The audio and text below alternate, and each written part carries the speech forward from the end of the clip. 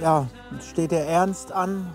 Aber es war eine, auf jeden Fall eine wunderschöne Woche, Das glaube ich, für uns alle. Wir haben alle einen Teil in unserem Herzen von jedem. Aber meine Gefühle sind nur für eine Person irgendwie übergeschlagen.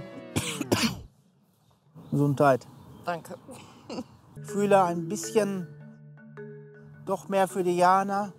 Alles gut. Aber ich habe dich auch sehr ins Herz geschlossen. Ich wünsche auf jeden Fall alles Gute. Ja. Die End-30erin bricht ihre Zelte ziemlich zügig ab. Tschüss. Jo, Tschüss. Ich bin auf jeden Fall traurig, dass Sascha sich gegen mich entschieden hat, weil ich mich halt geöffnet hatte. Klar, ich wünsche Jana und Sascha das Beste und dass es funktioniert. Und vielleicht kriege ich irgendwann einen neuen Versuch.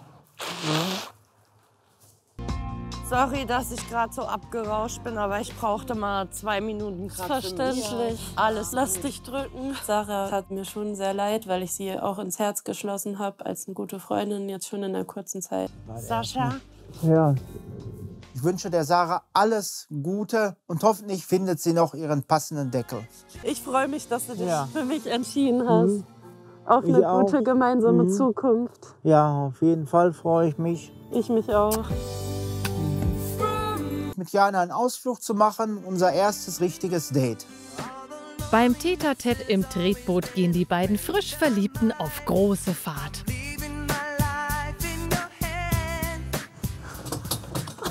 Guck mal, wir heben ab. Es funktioniert.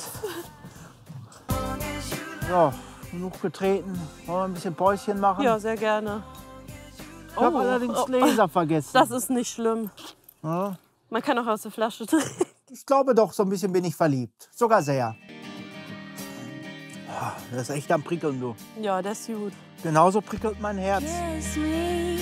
Möchtest du denn heute Abend schlafen im Hotel oder bei mir? Wenn du möchtest, kann ich gerne bei dir übernachten. Ja, darüber würde ich mich sehr freuen.